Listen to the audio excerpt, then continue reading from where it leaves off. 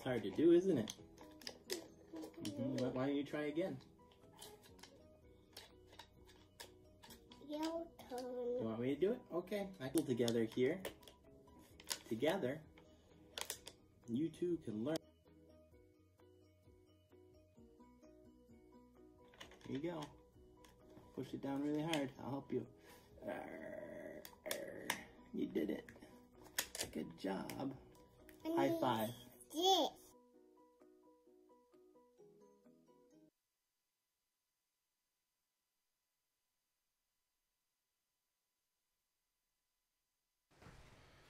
There you go. Well, good morning, everybody.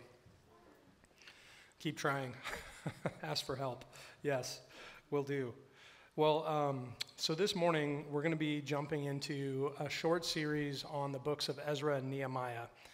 And, um, well, yeah, so just, just a little bit about that. And then I have another announcement to share with you guys that kind of ties into this.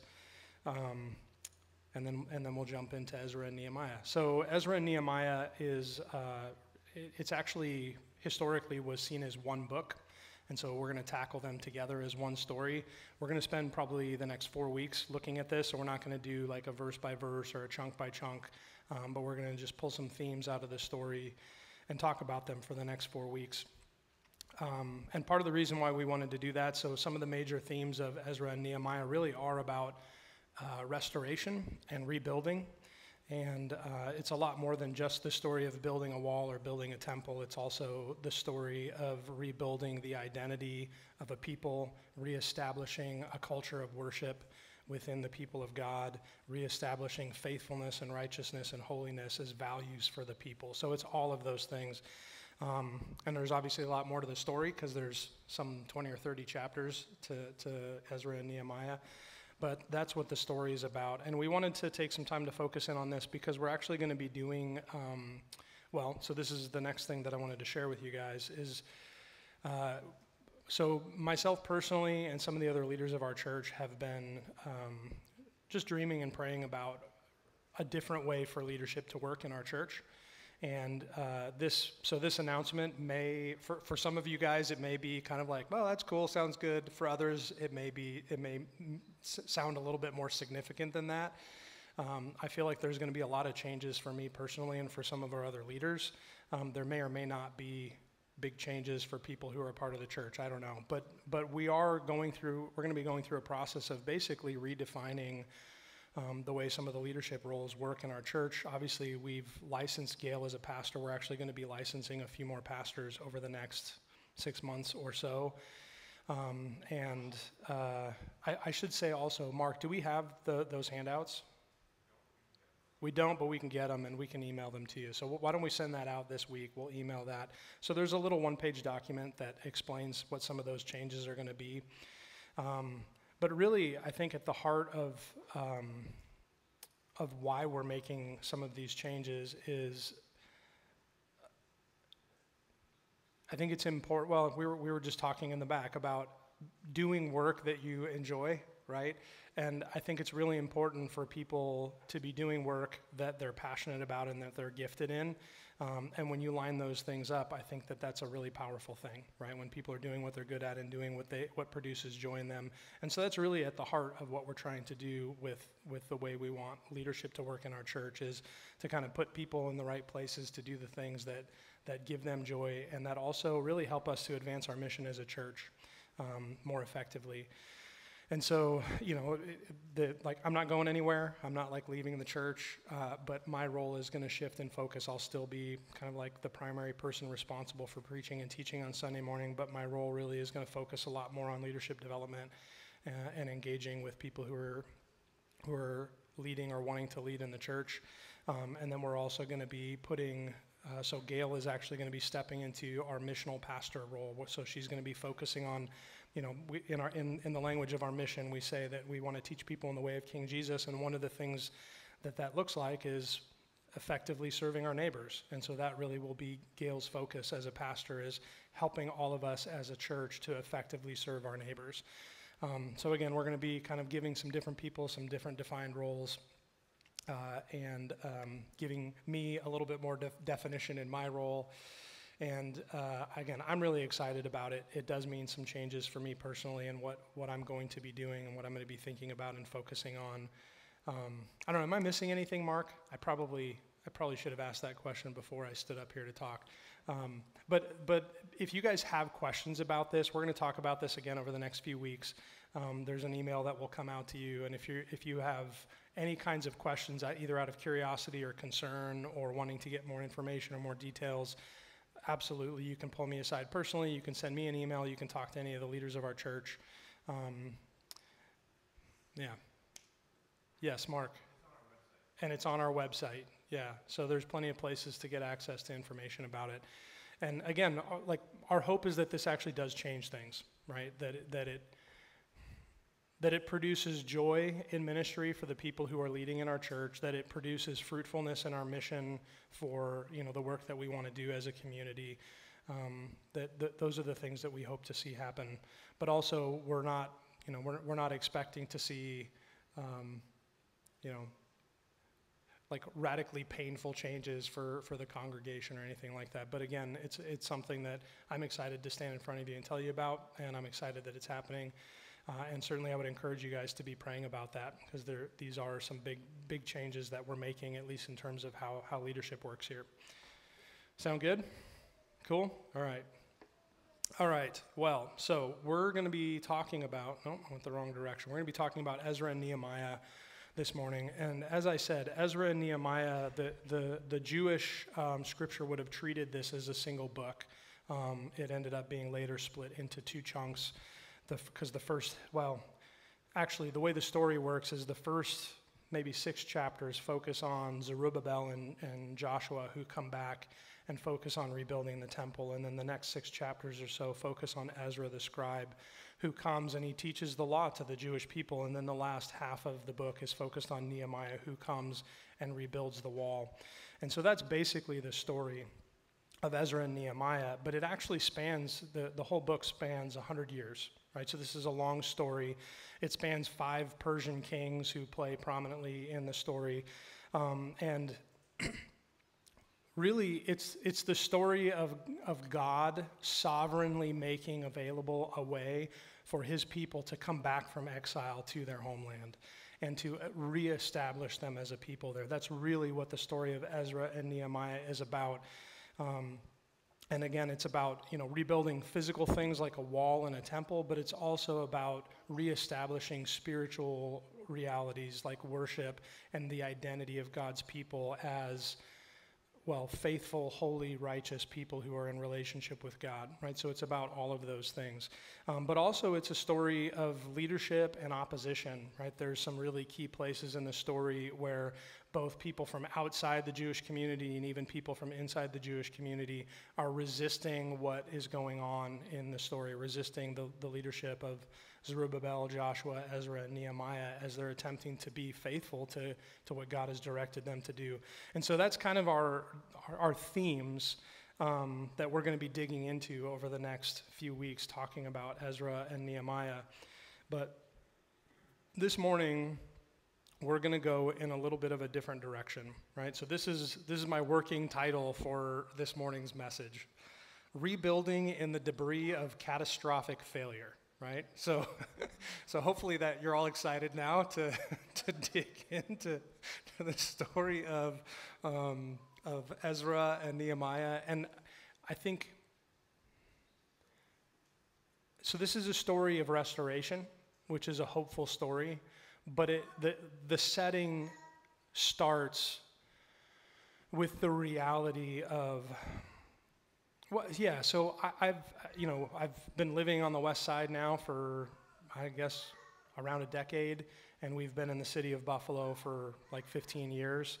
And personally i've watched the west side as a neighborhood improve and resurge and see positive changes happening here and it fills me with a lot of hope, right? Like I showed up and, you know, there weren't any businesses really on Grant Street. It was just a bunch of boarded up shops. And now, like, there's a lot of economic activity. There's a lot of good things happening. You know, there's a lot less drugs and violence. And, but, but when I talk to people who have lived in this neighborhood for 40 years or 50 years or 60 years,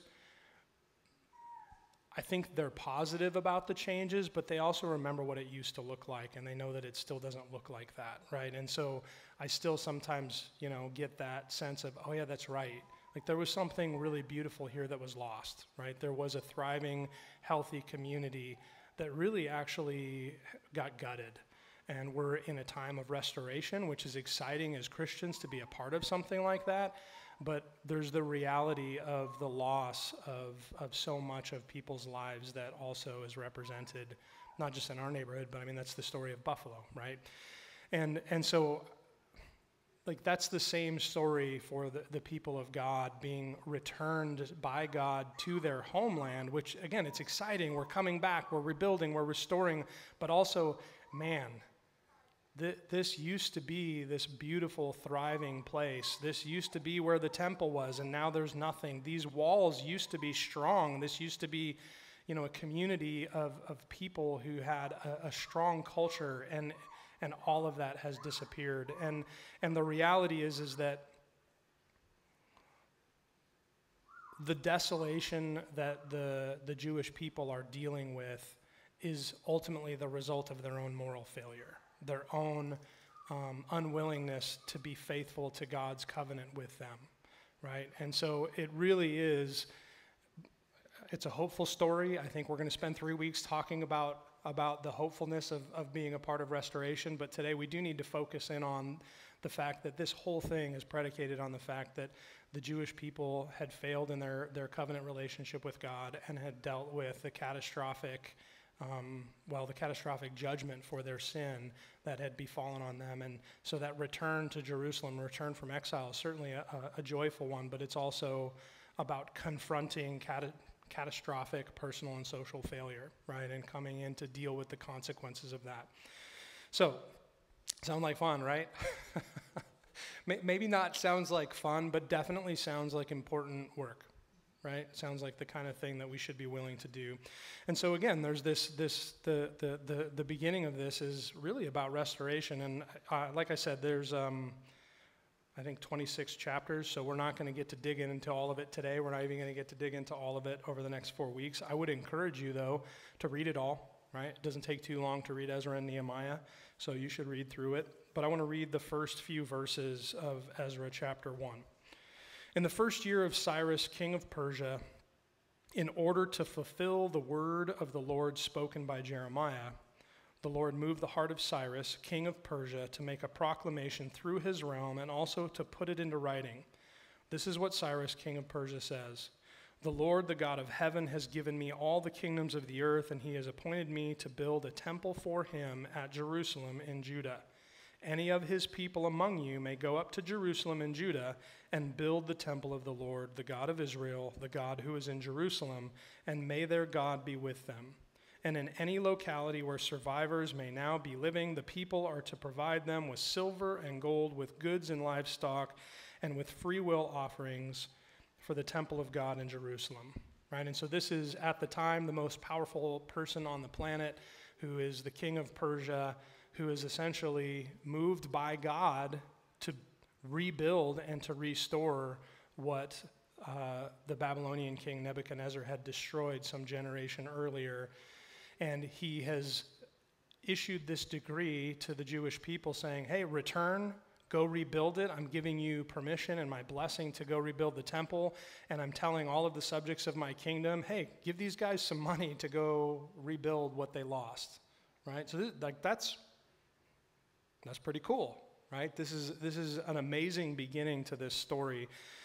And again, God is moving on the heart of Cyrus. Um, also, you know, if, if, we look back at the, at the story, we know that, that uh, Scripture gives God the credit for moving the, the Babylonians in to bring um, judgment on the Jewish people in the first place. And so this whole story is a story about God dealing with his people and this, this theme of God's intervention in the story of rebuilding the city and reestablishing the culture and rebuilding the temple and reestablishing worship, it comes in again and again and again. Where, you know, we, we saw um, John helping Nora put pieces in, and, you know, it's kind of like, well, keep trying, keep, keep, keep putting the pieces in, but also, like, don't, don't hesitate to ask for help.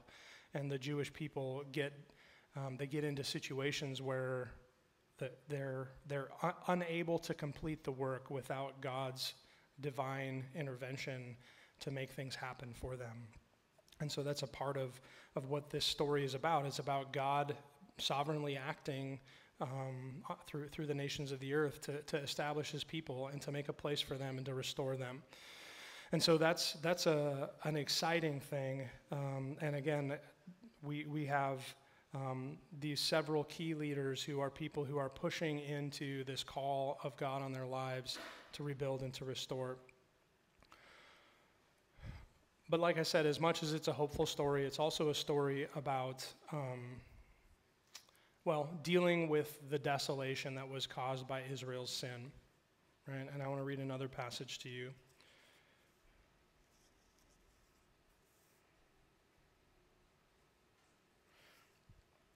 So this comes after um, some work had already been done. They had built the altar and uh, had just laid the temple for the foundation. So this is before Ezra has arrived, and this is before Nehemiah has arrived. But um, Zerubbabel is the first governor who's been commissioned by uh, the Persian king to come and lead people, and Joshua is the first priest to return.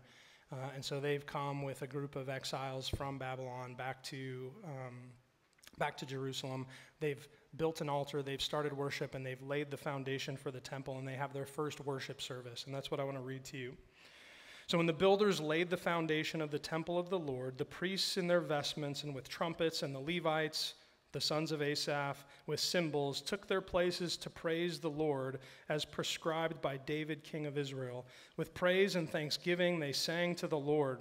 He is good. His love toward Israel endures forever. And all the people gave a great shout of praise to the Lord because the foundation of the house of the Lord was laid. But many of the older priests and Levites and family heads who had seen the former temple wept aloud when they saw the foundation of this temple being laid, while many others shouted for joy. No one could distinguish the sound of the shouts of joy from the sound of weeping because the people made so much noise and the sound was heard far away. Right? And so this is, um, I don't know, it's kind of a crazy picture. I think you could imagine that, though, right? If you put yourself in, I don't know, I mean, this is this building doesn't hold the same place to us as a church that, that the, the Jewish temple did for um, the Jewish people, but you could imagine if, you know, this church burnt down and we, you know, came back and like put a cornerstone out there and then had a worship service, it would be like, all right, like we're back, but also we're not really back yet. You know what I mean? And it's like, yeah, we're back, but also, man, what about what we lost? Or what about the work that still has to go on? And there's, I've read comment, commentators about that passage who have said that maybe it was just that, that like they remembered what was lost, but also there are people who have pointed at the fact that the new temple was much smaller than the old temple, and even though it wasn't built, it was just the foundation. There was the reality that what was going to be rebuilt would lack the same glory of what had been present before. And so there's just, there's real loss. There's real, genuine loss that, had, that, the, that God's people are going to have to deal with because of their sin. They have sinned, and it's going to cost them and even though God is restoring and redeeming them, the, there, there is this real mourning of the consequences of sin that's taking place.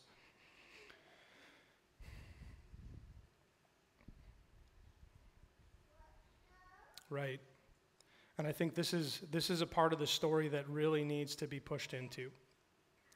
So the Jewish people were faithless to God, and that's why they had been removed in the first place, right?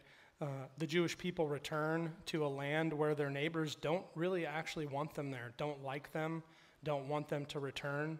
And again, like this is, there, there are all of these places of opposition and signs of disfavor that the Jewish people are having to push into because of their own sinful decisions. And ultimately, even one, one of the, the recurring themes of Ezra and Nehemiah is the decisions of some of the, the, the, Jewish people themselves, even continuing through all of this rebuilding, right? God has moved on the heart of Cyrus, and we'll see um, later in the story that there are several Persian kings that God continues to move in their hearts to, to make a way for the Jewish people, right? So there's all of this crazy providential ways that God is showing up for the nation, and yet there are still people who are refusing to obey God's commandments in their lives. And this ends up being one of the very things that Ezra and Nehemiah have to continue to deal with, right? Is no, guys, we, we got to follow God. We have to be faithful to God. And so there's just this continual wrestling with the consequences of sin and coming face to face with the fact that, man, we not only have we not been faithful to God and we're dealing with the consequences of that, but we continue as a people to not be faithful to God and we're dealing with the consequences of that. And we have to root that out so that we can be the people that God want, wants us to be. All right, so that's, that's, that's an ugly reality. And in a, in a minute, we'll talk about what that means for us as people today, right, as, as followers of Jesus. But the last thing that I want to point at, just as kind of a, a theme of this story, so this is a picture of a shepherd, um, but uh, you, you guys are familiar with the, the parable from Jesus about you know, the lost sheep and how a shepherd will leave the 99 sheep to go and find the lost sheep and return them. And this story of Ezra and Nehemiah, it really is the, that story. It's, it's a story certainly of, um, well, of persistence and of moral courage on the part of some of the Jewish people to pursue God's plan for their lives. But it's not really a story of the Jewish people saving themselves. This is not a story of the Jewish people, you know, out of their own kind of gumption making it work. This is a story of God showing up and being faithful to people who were not being faithful to Him. This is a story of God making a way for a people who were not capable of making a way for themselves, right? That is the story of the return from exile, as God saying, I love you, you're my people, and even though you have been faithless to me, I will still be faithful to you. I will pursue you, I will redeem you, I will restore you to the place that I had you in because I love you and because you're my people. Not because of your strength or your beauty or your power, any of those things, but because I love you.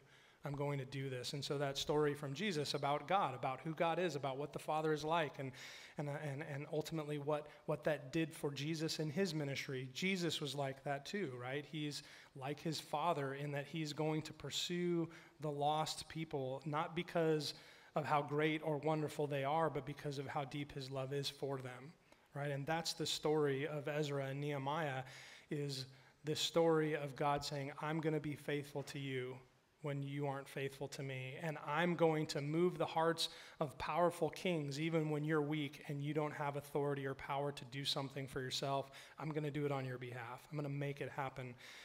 Um, I mean, it's it's actually one of the. There's a, a, couple of cool places in the in the stories where so some of the some of the people around Jerusalem don't like that the Jewish people are back and rebuilding the city, and so they stir up trouble and they send letters to the king saying, hey, these Jewish people are going to cause problems for you. Don't let them do what they're doing. And in certain places, some of the Persian kings put a stop to the work. And then in, in other times, they kind of dig in and, and, and realize, oh, no, actually, actually we, we want the Jews to, to rebuild the temple and rebuild the city.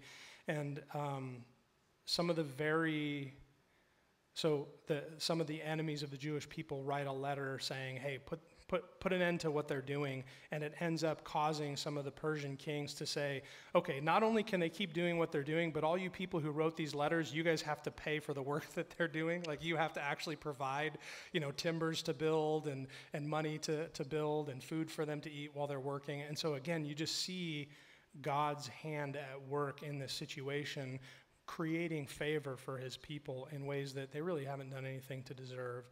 And so that, that's just an essential part of this story.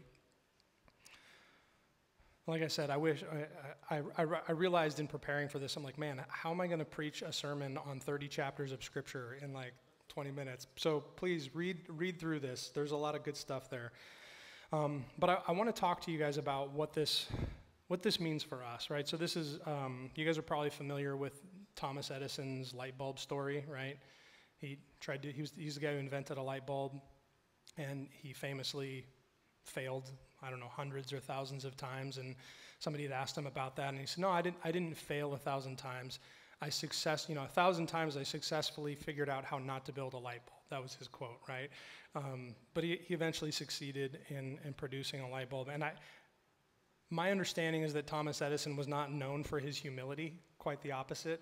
That's my understanding. I'm not a, not a uh, expert on his life, but but I think there's something in that that I that I, I think can point at what I think what, like a lesson we can pull from this story, right? Um, there is a clear there's a clear conviction on the part, particularly of the leaders in, in this story, of Ezra and Nehemiah in particular. They are resolute in their pursuit of the, the, the call of God on their lives, right? God has sent me to teach the law to his people. I'm going to do it. I'm going to deal with whatever I have to deal with. I'm going to pursue this thing. Nehemiah, I'm here to rebuild the walls. I'm here to teach the people to actually practice justice. Like, I am going to do this, and there is nothing that's going to stop me. I mean, there's a scene where Nehemiah steps in really to ask the king for favor. And once you start to learn some of the backstory, you realize that this is a king who Nehemiah didn't know if he was walking into, hey, the bank account's open, go build the walls, or I can't believe you just asked me that off with your head, right? Like, the, like these are people who were exercising great moral courage and conviction to pursue what they felt like God wanted them to pursue. And yet it's also coupled with this it's, it's a humility, a willingness to confront their own failure and the failure of their people and to really look at it and really deal with it. Right? And I think that that's something for us that doesn't come accidentally. We, we can't be those kinds of people by accident. We have to choose that, right? We have to choose to say, yeah, I'm not going to let go. I'm not going to turn away from the promises of God in my life. And I'm going to push in and deal with the places where I have failed or where, you know, things are hard. I'm not, I'm not, I'm not going to ignore that. I'm going to push into that. And there's a choice that we have to make. But, but again, it's a choice. So this is where it's not the Thomas Edison story, right? It's not about pushing into our own ingenuity or our own intelligence or our own ability. This is about having conviction that comes from our reliance upon the grace of God in our lives, that we trust in Him, that we believe that He loves us, that, that we're, we're not going to let go of His promise in our lives because of who He is, not because of who we are. Does that make sense? And so I think we have to ask those questions like, what tempts us not to be this kind of a person? What tempts us to avoid dealing with sin in our lives or with failure in our world? Um, I mean, I know for me, I just don't like it. It's painful. It's ugly. I don't want to deal with those things. I want to ignore them and pretend that they're not there. Maybe for you, it's something else. I don't know. But what, what tempts us to be those kinds of people? And are we willing to say, I'm not going to allow that temptation to become real in my life? What tempts us to ignore God's grace, to pretend that we can solve problems on our own, right? And I don't know. Sometimes, sometimes I just think I'm all that right? I'm sure some of you guys deal with that too. It's like, nah, I got this. I've been, you, you, guys, um, I, have I've shared before that I've been, I've been going to jujitsu with my daughter. So I've, I've been uh, back into a, like a wrestling scene, which, you know, like I was a college wrestler. And, and over the last couple of weeks, I've had all sorts of opportunities for my ego to flare up. I'm like, oh yeah, like I'm pretty good at this. But, but usually within the space of 30 seconds, I also have opportunities for somebody to, to not usually with words, explain to me why I'm not all that. so, so I've had a lot of those experiences of like, yeah, I'm, this is who I am. And then, no, that's, that's not who I am. I, I actually am not, I'm not all that. I'm a 42 year old out of shape ex wrestler. That's what I am. so anyway, we, like we want to be people who our moral courage and our conviction is rooted in who God is in our lives, not some false image that we have of how awesome we are. That kind of speaks for itself, right? Can you guys read that in the back? Yeah? Okay, good.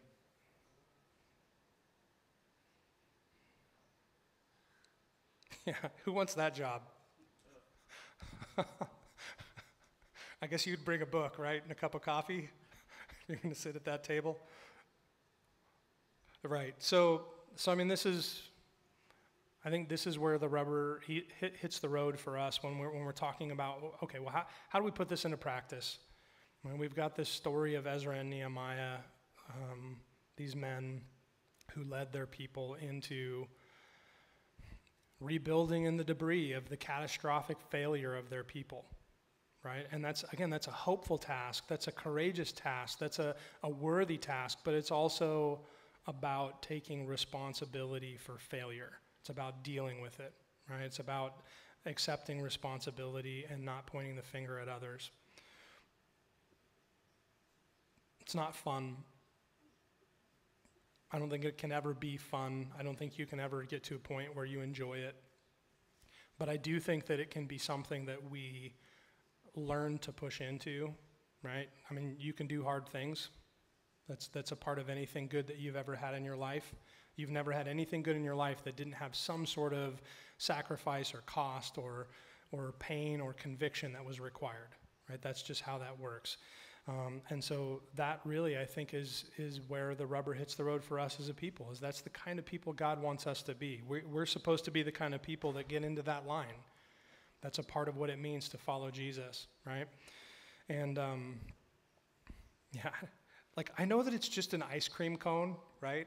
I get that it's not really that big of a failure, but somehow this picture just captured for me kind of like the dis- not despair. What's the right? I don't know what the right word is, but just that kind of like like utter disappointment, yes, you know, especially you can imagine if you're like four, this would crush you, you know, and you would just stare at it and not go anywhere.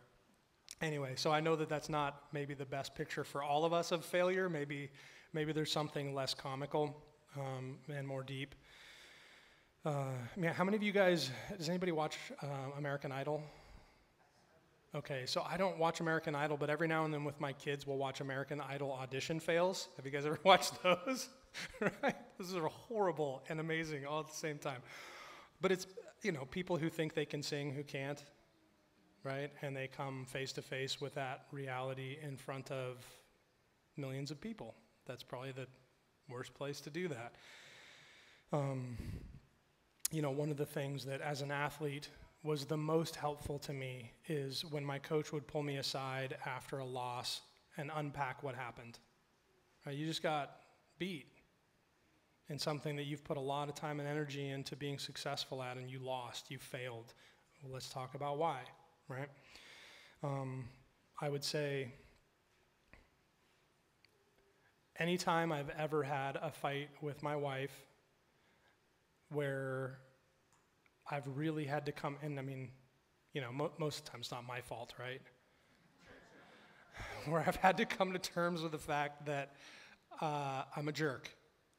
And it's, that never feels good ever. And there's always that temptation in there to push that realization away, to say, it's her fault, not my fault. All her, 100% her fault. None of it's my fault.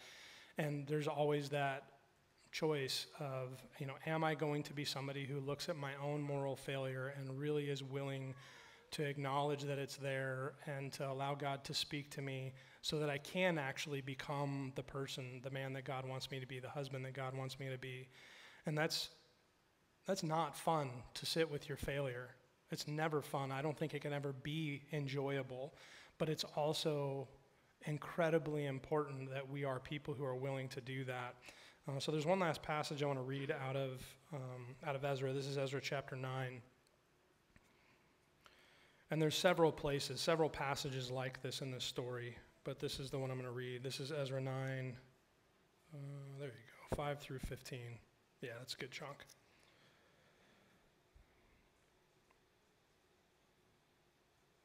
Oh, that's why it's the wrong one. I'm in Nehemiah 9.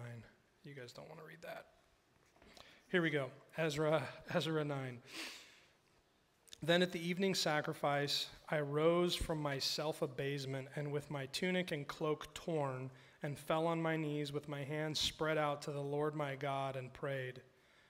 I'm too ashamed and disgraced, my God, to lift up my face to you because our sins are higher than our heads and our guilt has reached to the heavens. From the days of our ancestors until now, our guilt has been great. Because of our sins, we and our kings and our priests have been subjected to the sword and captivity, to pillage and humiliation at the hand of foreign kings, as it is today. But now, for a brief moment, the Lord our God has been gracious in leaving us a remnant and giving us a firm place in his sanctuary. And so our God gives light to our eyes and a little relief in our bondage. Though we are slaves, our God has not forsaken us in our bondage. He has shown us kindness in the sight of the kings of Persia. He has granted us new life to rebuild the house of our God and repair its ruins. And He has given us a wall of protection in Judah and Jerusalem.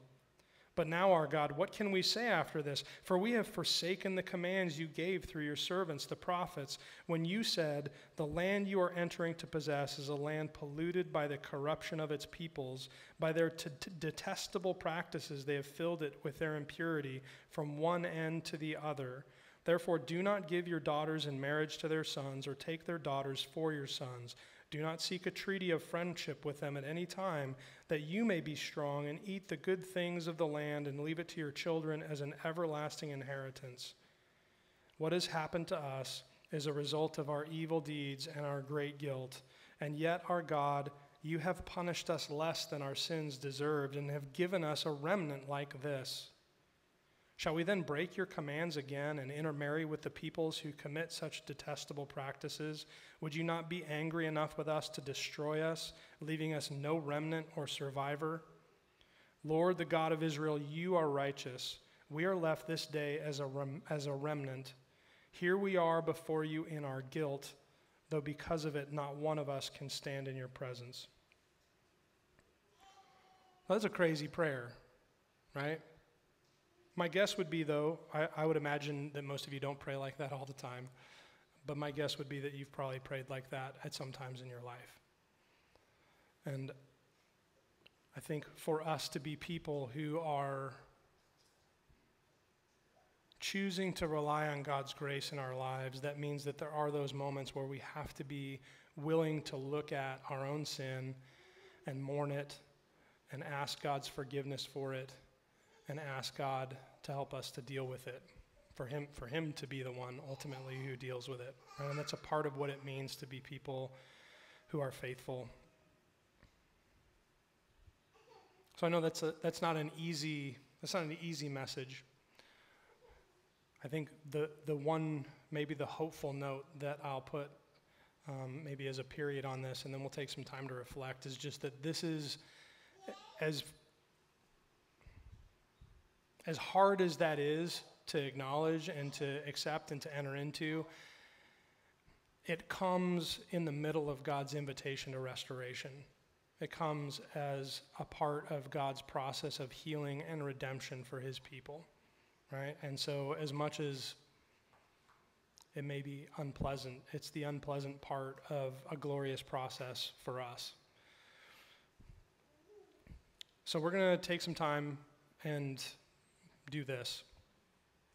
Um, so the the first is to identify a personal failure where I'm willing to dig into it more deeply and ask God to help me, right? And again, I recognize that it takes it probably takes courage just to even like read that sentence and think about applying it to yourself, right? Um, and then, so, but, but I'm encouraging you to do it right? To actually identify a place where you would say, man, I, like I've just failed here as a person. I'm not who I want to be. And God, I actually want you to help me deal with this, right? And you don't have to start with the biggest thing. You could start with the smallest thing. That's okay. But to identify a place where it's like, okay, this is a place where I want God to help me. Um, and then to actually tell God in prayer, okay, I want to I want to deal with this. I want to look at this. I want you to help me to to enter into what it looks like for me to become, you know, a more faithful person in this place in my life. Is that is that all right? Again, I know that's like heavy work to do, um, but we'll take the next few minutes and just sit with those two things. So, Lord, I do pray that you would come and help us to be people who are willing to look at our failure, whether it's ours as an individual or even ours as a people Help us to be willing to do that. And God, would you help us in it? Would you heal us? Would you redeem us? Would you restore us. So we just pray that you would come now.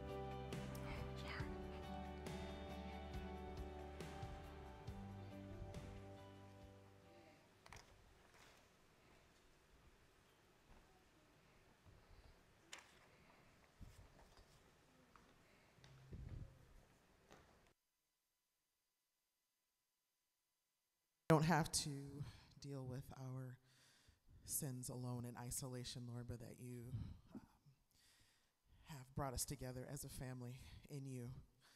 Um, help us to reach out to each other in love, asking for prayer and um, accountability as we move toward more wholeness and restoration in our own lives, Lord.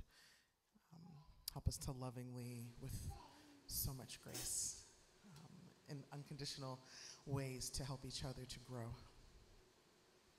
and to walk more into the beauty that you see in us, Lord. Help us to see it in each other. Thank you, Lord.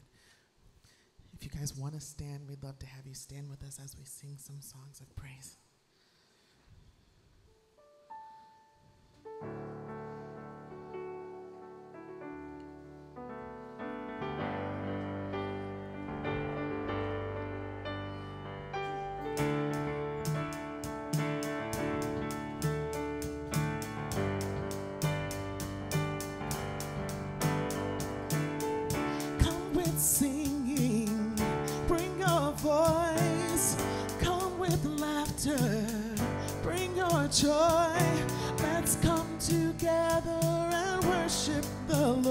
Singing.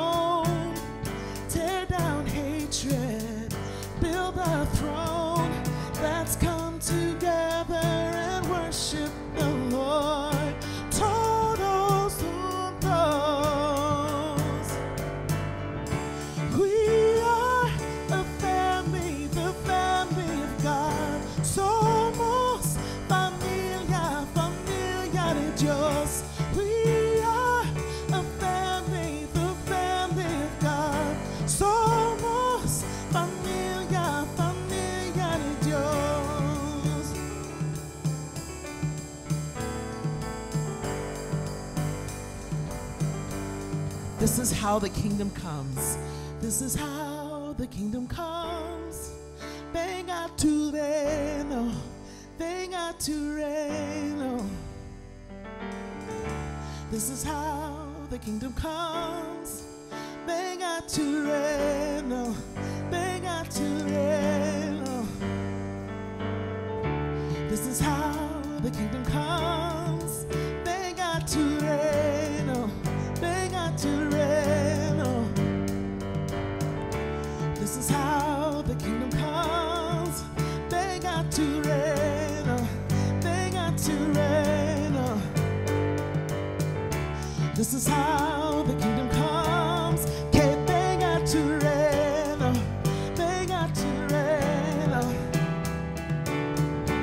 This is how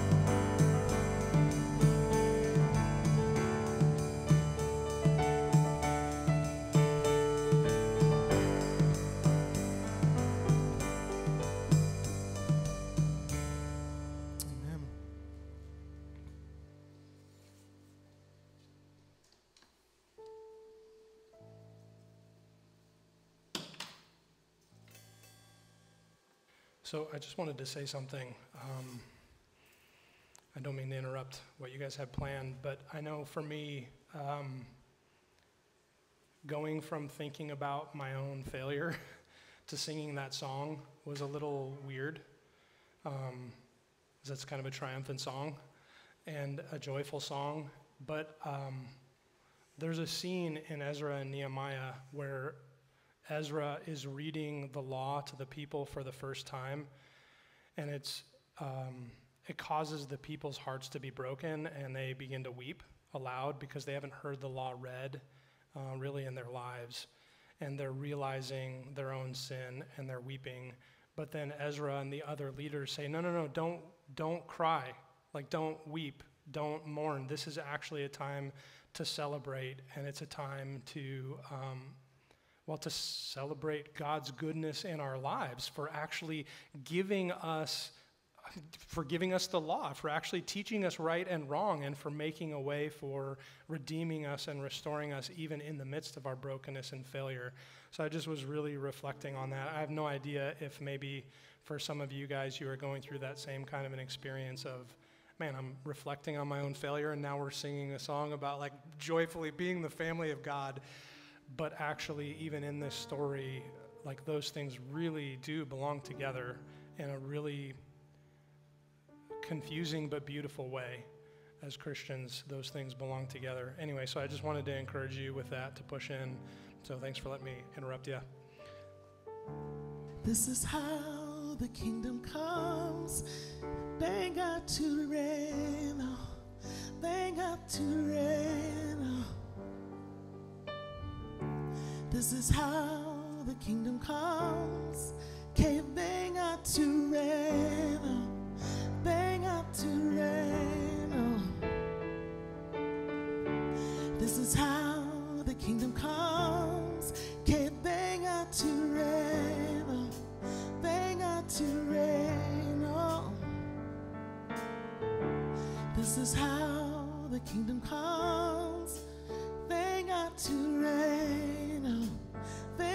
To rain. Oh, we are a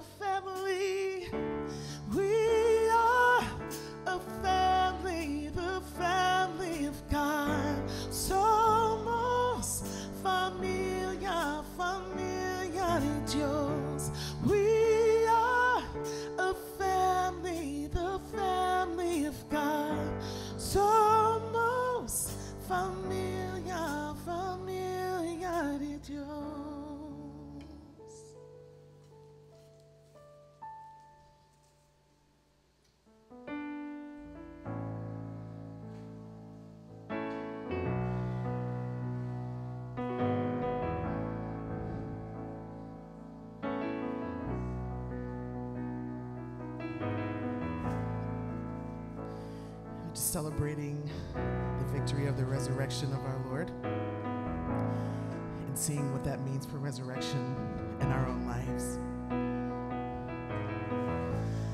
Hardly victory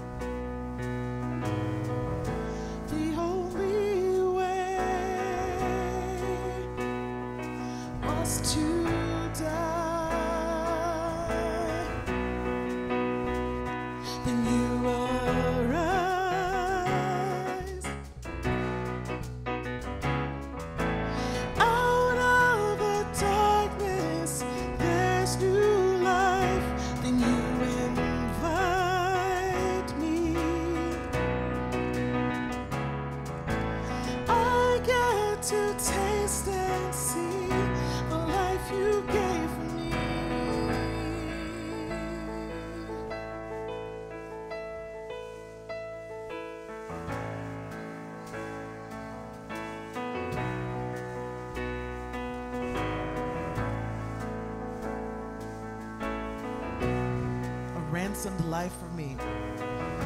A ransomed life for me. You gave eternity.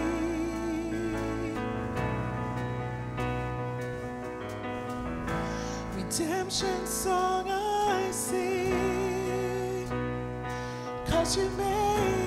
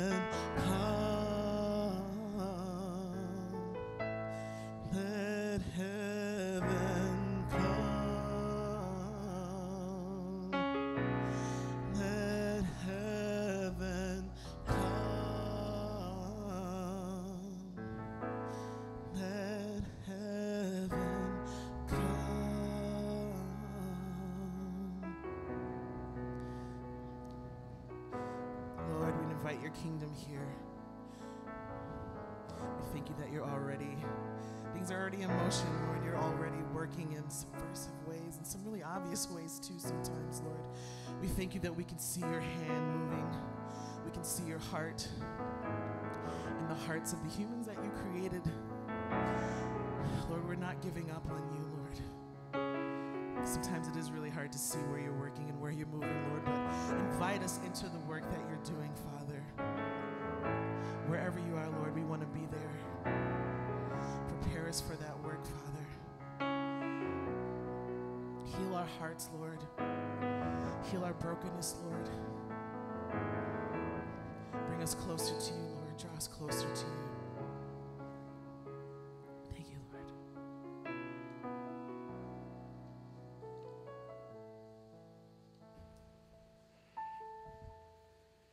So before I give you a benediction, um, I just want to encourage you. So we took some time to reflect and to identify a place of failure in our lives that we wanted to, to ask God to help us with. And um, maybe for some of you, you were able to identify something and um, you just need a little bit more direction for what to do with that. And uh, I just want to encourage you, something that I want to do personally and would encourage you to do is to take time each day this week and to reflect on that. Maybe you want to journal with it. Maybe you want to just pray to God about it. And really, I think I would just put two questions in front of you, right? Why? Right? So maybe this is something from your past, or maybe it's something you can continue to struggle with. Why, why has this happened? Why did this failure occur? And the second question is, what is God's invitation in this? Where is the Spirit at work? Right? Just those two questions. And so again, maybe you're you want to write and journal or type or whatever, or you just want to use those as prompts to prayer. But why has this happened? And God, where are you at work in it? Um, but maybe for some of you, this is significant enough that it's like, man, I need, like, I would like somebody to talk to me about this, or I'd like somebody to pray for me with, uh, pray with me about this even before I leave. And I just want you to know that that absolutely is available. So, you know, there's people you came in with, you can come talk to me or one of the other leaders and, um, you know, share as much or as little as you want and ask for prayer if that's something that you want. But again, respond to where God has prompted you to identify a place of failure in your life that you want to invite Him into. And um, if you guys want to stand, and I'll read a benediction and we'll call it a morning. And again, this is from Hebrews, one of my favorite benedictions. And the author of Hebrews says this May the God of peace, who through the blood of the eternal covenant brought back from the dead our Lord Jesus, equip you with everything good for doing his will, and may he work in you what is pleasing to him through Jesus Christ, to whom be glory forever and ever. Amen. Go in peace.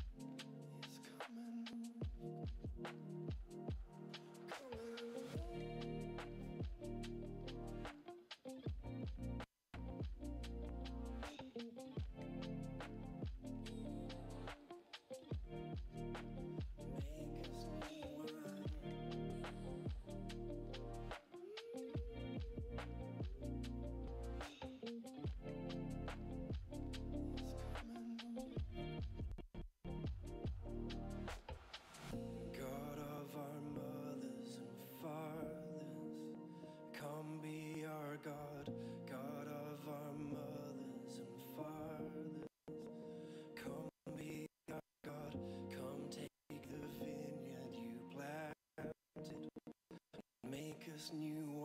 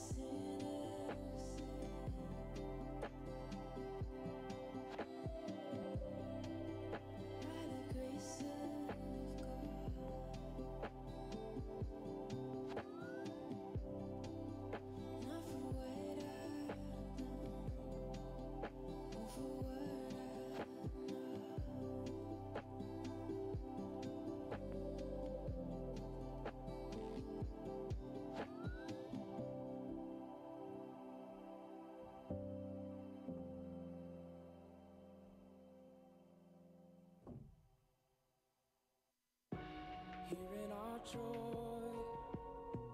here in our sorrow, there in our past, there in tomorrow.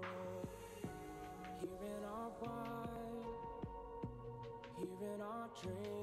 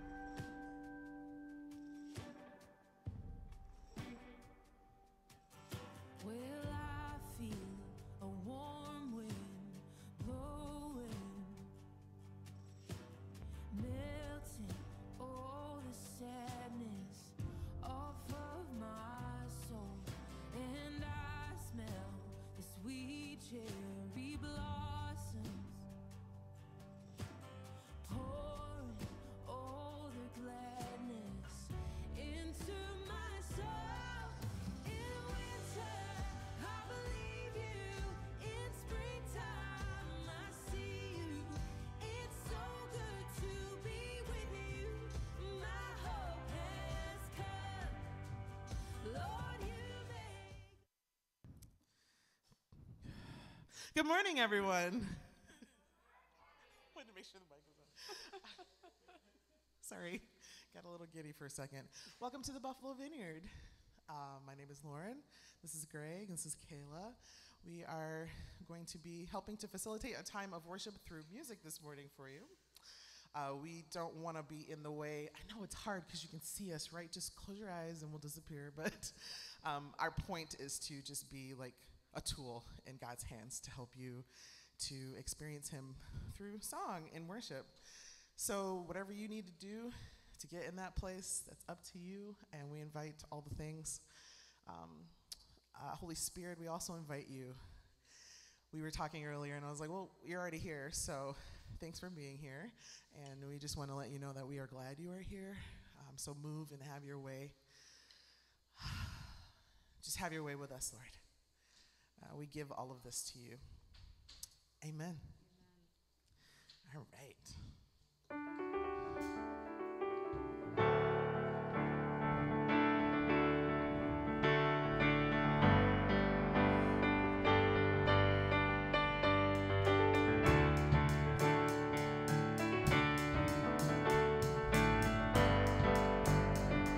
come and sing.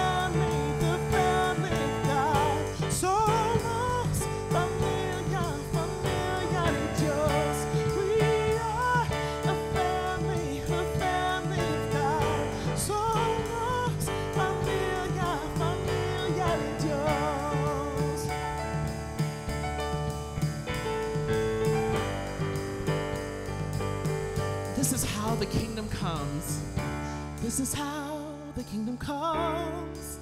Venga tu reino, venga tu reino. This is how the kingdom comes.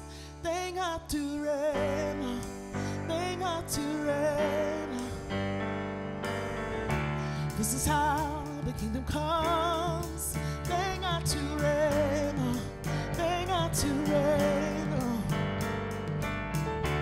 This is how the kingdom comes. Venga tu reino, venga tu reino. This is how the kingdom comes. Que venga tu reino, venga tu. This is how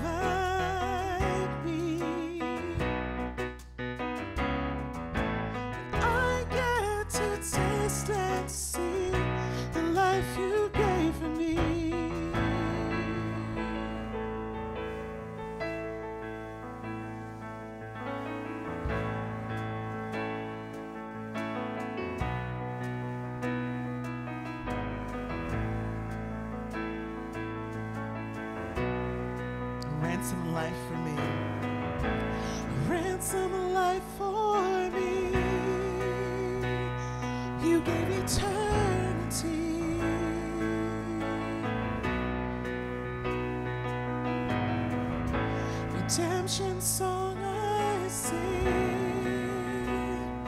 Cause you made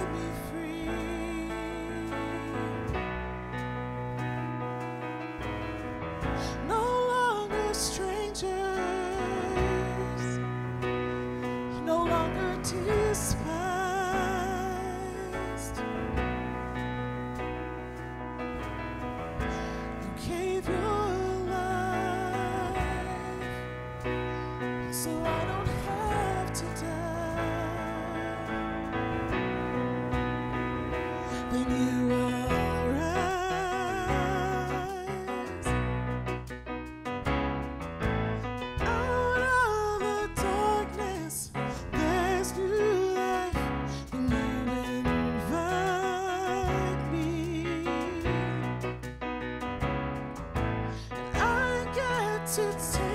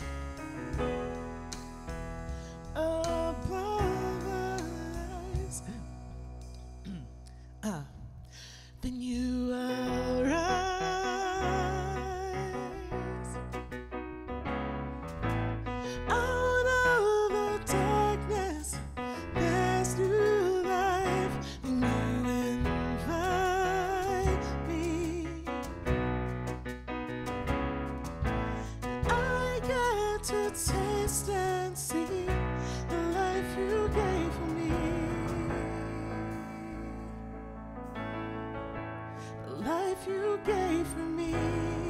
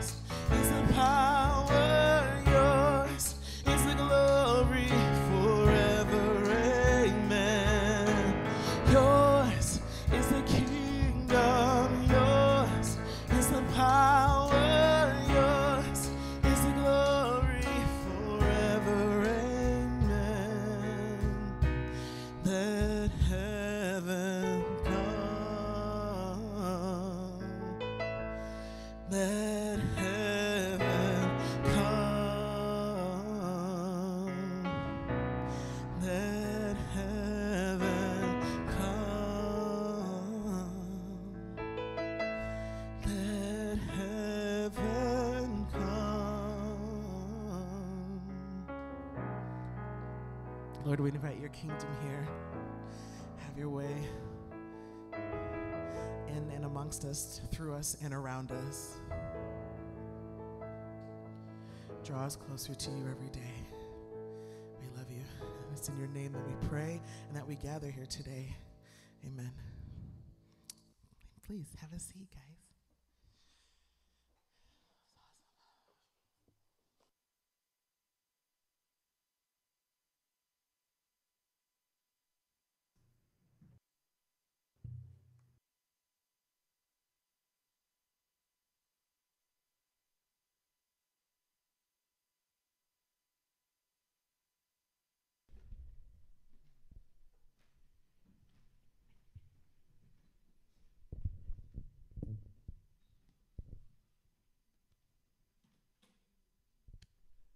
Morning, guys.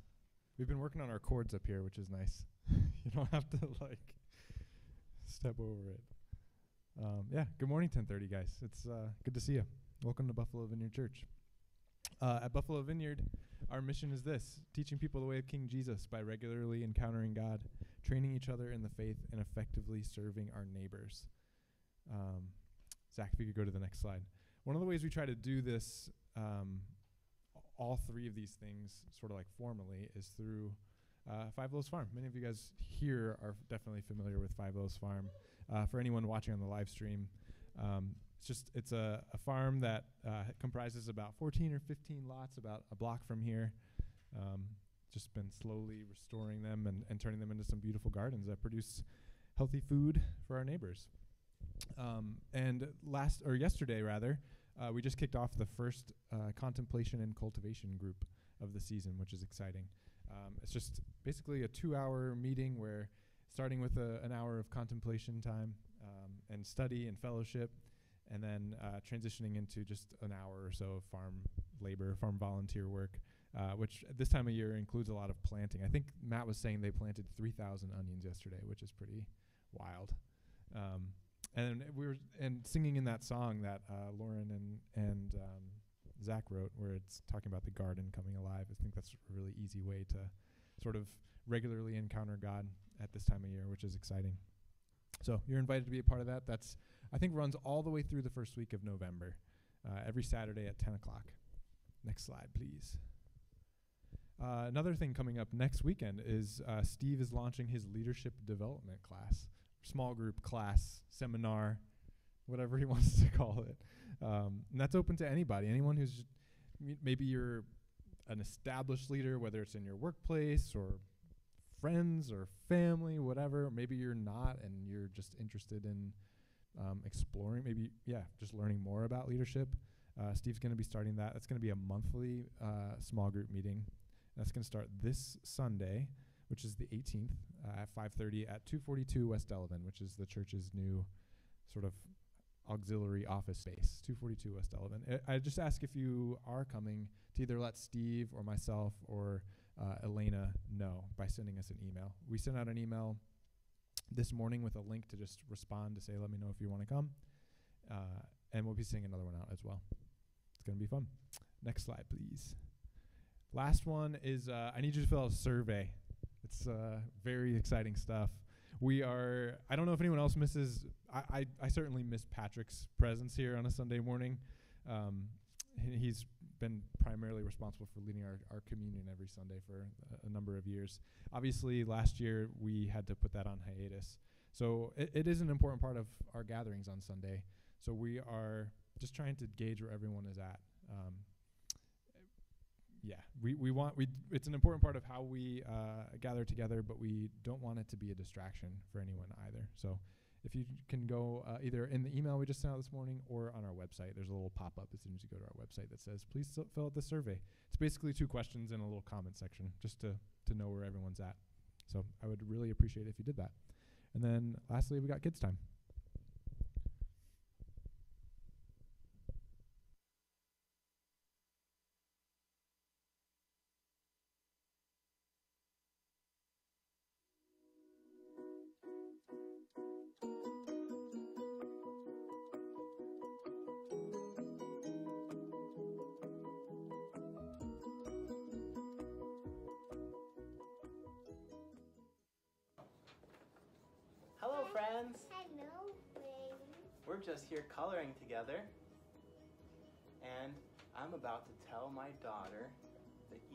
Story.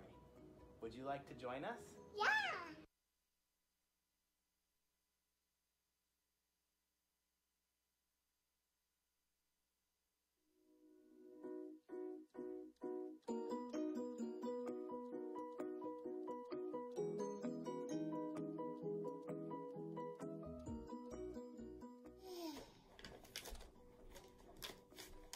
Maybe this one. Hello, friends. Hello, friend. We're doing a puzzle today with stickers and stained glass art. Yeah, you want to show them the stickers? This one. up. See? We got some stickers, Mm-mm. and I put them on our stained glass window. All right. Try to put that one on. Where's that go? Here.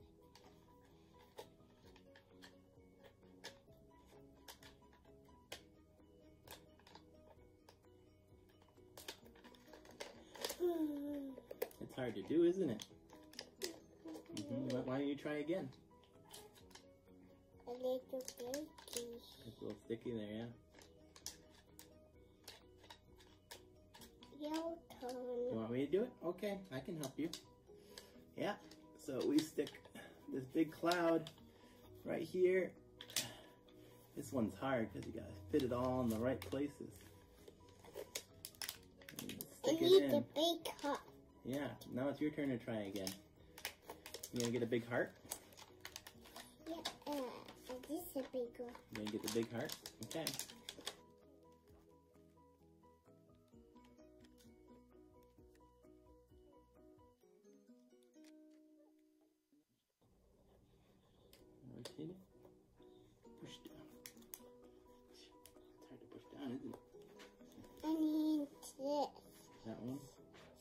Go here.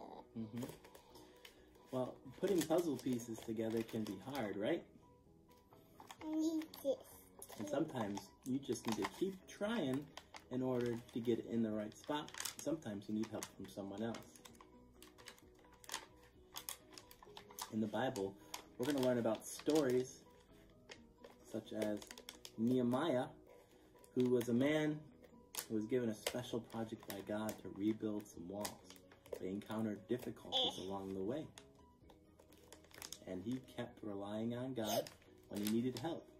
He kept trying to get the project done because that's what God gave him to do. Just like we're going to keep trying to put our puzzle together here, together, you too can learn how to trust God to help you in your life as you go through it and keep trying to follow after Him every single day. So thanks for hanging out with us today. No, no, You no, want to show them the next next piece of the puzzle? You Want to put this heart in? You Want to put that cloud in?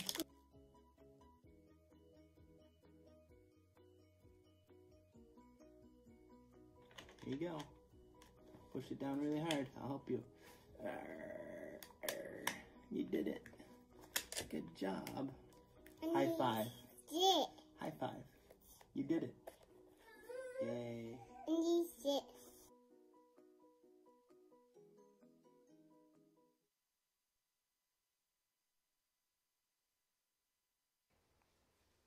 You did it. High five. Cool. Well, good morning, everybody. How's everybody doing this morning?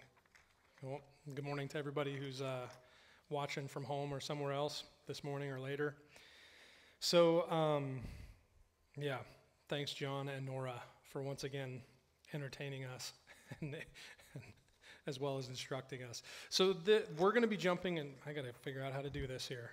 There we go. That'll work. So we're going to be jumping into a series on Ezra and Nehemiah. Um, we're only going to spend probably four weeks doing this. Um, so we're not going to go verse by verse or line by line. Um, we will read some of the passages, but really just to tackle the whole, the whole story of Ezra and Nehemiah. And I'll get into it in a moment. Um, but but the, these two books are actually historically seen as one book, so that's why we're going to tackle them together. Um, but part of the reason why we wanted to do this is uh, we're, we're actually going to be rethinking the way we do leadership as a church. Um, and, or rather, I should, say, we have already rethought the way we want to do leadership as a church and are going to make some changes over the coming months about what that looks like. Um, and so I wanted to share some of that with you. And I think the you know that ha- having a conversation about that within the context of thinking about Ezra and Nehemiah, I think makes a lot of sense. Um, there, Mark, you had the handouts in the back if people wanted them. Yeah, so there's a there's a, a single sheet of paper that you guys can take a look at if you want to grab it. There's also something on our website that you can take a look at. Um, and I'm just going to pull some some of the information off of our website um, to share with you what what we have planned.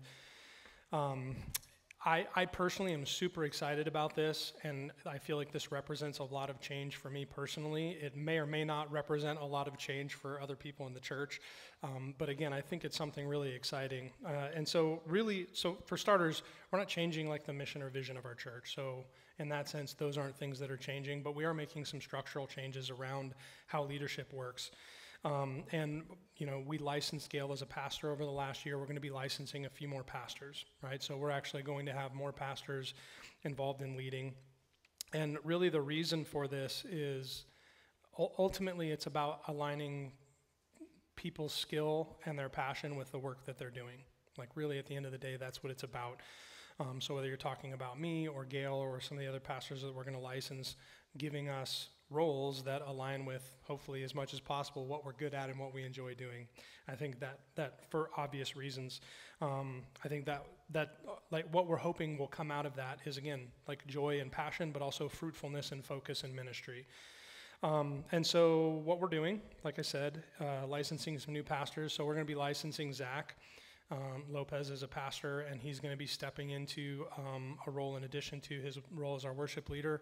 Really focus well, so that you guys are familiar. You know, Mark just just stood up here and talked about the um, the mission of our church, right? Teaching people in the way of King Jesus.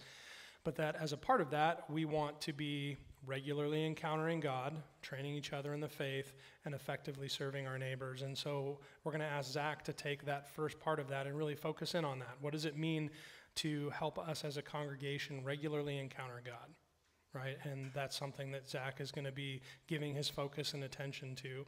Um, there's, we still have one person that we haven't yet identified, um, but having somebody whose job is again helping us as a church train each other in the faith, right? That we're gathering together and encouraging each other and getting deeper into each other's lives. And then Gail, Pastor Gail Schlosser, she's going to be the person who is going to focus in on the like the missional aspect of our, our mission, right? Um, of, about effectively serving our neighbors and helping us as a congregation to do that corporately um, with our you know West Side Outreach team, or even just to equip us as individuals to be people who are you know sharing our faith or serving our neighbors in ways that actually bless them, right? So those are some changes that are coming, and then also um, so we're going to be licensing Mark Harley, and Mark is going to be stepping into more of like an executive pastor role, um, taking on uh, more leadership with the leadership team and and with the kind of the operations of the church, so to speak. And we've also hired Elena France to take on some of the more administrative roles that, that Mark has been doing. And then finally, my role is going to shift a little bit. So I'll still be like the person largely responsible for preaching and still be available to like meet with people, but really focusing in on leadership development and pouring into the leadership team and also you know, you guys are probably familiar with the fact that I do a lot of networking outside of the church, but focusing in on some of that stuff too. So those are some of the just changes that we're making. Um, and like I said, I'm really excited about that. It's something that I, I, I feel like lines up my passion and my skill with, with the work that I'm going to be doing, and we feel the same about everyone else. Maybe when it comes to how that affects the church, you know, it may or may not make some some radical shifts in the way our the culture of our church works, but we do believe that this will make us more fruitful in our mission, right? That we're, we will be able to actually do the things that we are doing better and more. Uh, let's see, did I miss anything else? Right, yeah, so just in terms of the process of change, I mean, again, I've been thinking about and praying about this for some time, and so it feels really monumental to me. Maybe for some of you guys hearing me talk about this, it feels big or it feels small. Um, but we're committed to making sure that whatever change we go through, it's like a healthy process. So if you have any questions, you can ask. You can talk to me, any of other leaders. You know, hey, why are we doing this, or who was involved, or you know, what, what's this going to look like, or you, you can ask whatever questions you want. Um, and yeah, again, just be praying for the church as we go through this. Does that sound good? Cool. All right. So, excuse me. Ooh, that was bad. I tried. I gotta, I, I gotta learn how to do that. That did not work. All right, so Ezra and Nehemiah. Um, so first of all, this, and, and I would encourage you to read this. So we're not gonna, you know, I've got like 25, 30 chapters of scripture that we're looking at this morning. So I'm not going to read through the whole thing. We're not even really going to be able to read through the whole thing as a church over the next four weeks. But I would encourage you to read, read it. Read Ezra and Nehemiah um, over the next week. It's not too much to do. Uh, and, and there's a lot of really cool stuff in it. But this is a story that actually takes place over about 100 years, right? These two books, um, there's 100 years of history there, and there's five different Persian emperors or kings um, whose reign spans this, the, the tale of this story. And it is, it's the story of God's people being brought back to their homeland after a time of exile in Babylon and in Persia. Right? That's what this is the story of. It's the story of the return. And in it are um, like just some real practical, tangible things that need to be rebuilt, like Nehemiah rebuilds a wall, right? And um, uh, Zerubbabel and, and Joshua, the, the first governor and priest, they rebuild the altar in the temple, right? So they're rebuilding physical structures. But also, there is the reestablishment of worship, like re- reestablishing the, the identity of the Jewish people as God's covenant people, reestablishing the practice of the law and the holiness and the righteousness of God's people, reestablishing practices of justice and how, you know, rich and poor people are supposed to interact and treat each other as God's people. Like all, it's all of this. So s- certainly there's some really big, tangible, just physical projects that involve you know rocks and carpenters and then there's also some deeply spiritual work that is involved in the, the rebuilding and restoration of the people of god into their homeland right? And so that's the story but it's also it's a story about um, god's sovereignty as well. Uh, we'll, we'll get into this in just a moment. Th- this whole thing the whole story hinges upon God doing things for his people that they can't do for themselves. And you see opposition coming from the neighbors and even sometimes from people within the nation of Israel itself who are resistant to what is going on and to what God is doing.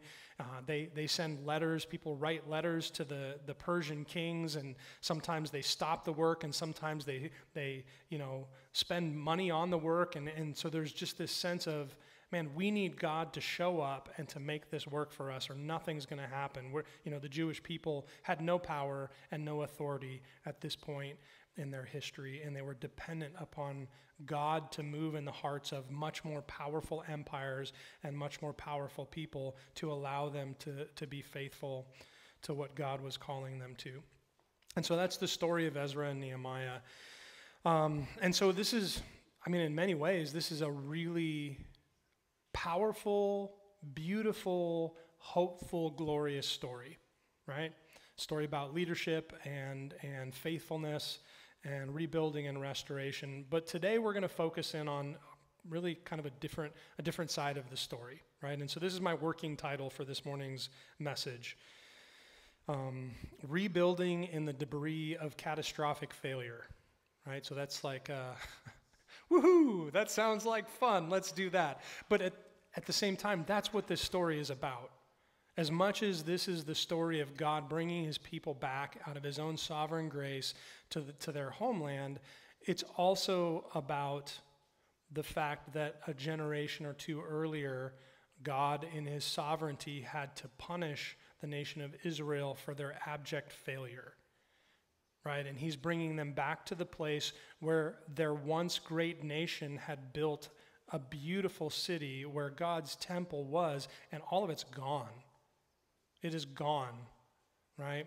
And so there really is this sense of, man, we're coming back as a people to deal with the consequences of our own moral failure and to step into this place where we have to we have to take responsibility for that and, and maybe even just say yes as God takes responsibility for that because we don't even have the ability to take responsibility for it ourselves. And so that's really also an important part of what this story is about. So that doesn't sound necessarily like fun and happy and, you know, like let's sing songs of joy, but at the same time, I think we can all recognize how important that is, right?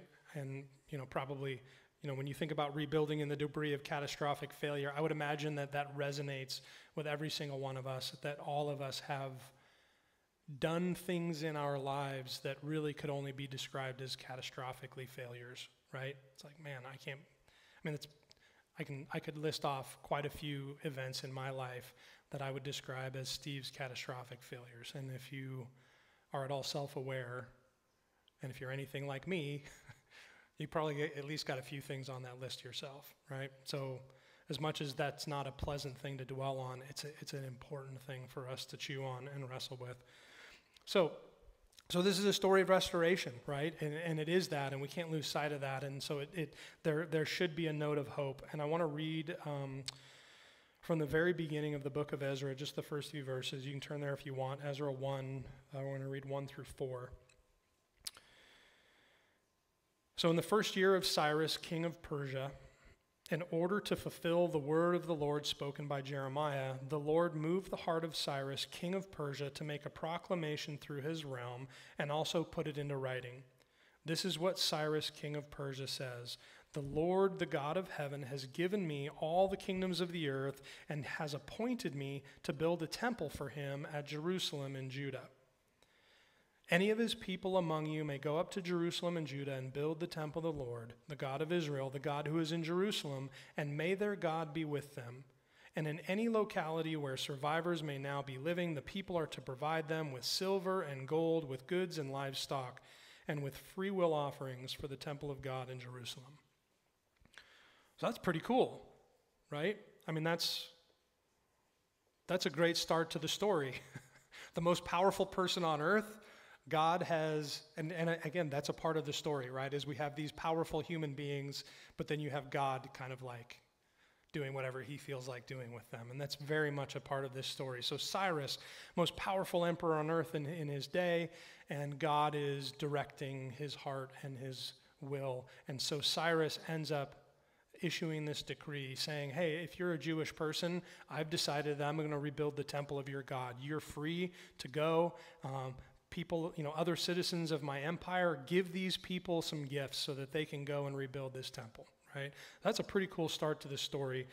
Um, and, and we see the first six chapters really are so Zerubbabel is the first uh, governor, and Joshua is the first priest, and they lead a group of people from, uh, from the Persian Empire, from Babylon, back to Jerusalem.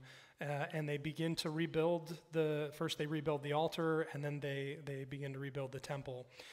And that's the beginning of that. And then after that we see ezra the scribe come. Like i said the story spans about 100 years. So ezra the scribe comes and he begins to teach the people the law right? To teach them the practice of the jewish law again and what it means to be god's covenant people to be faithful to god and to be just and righteous and holy to, to worship in ways that that are pleasing to God.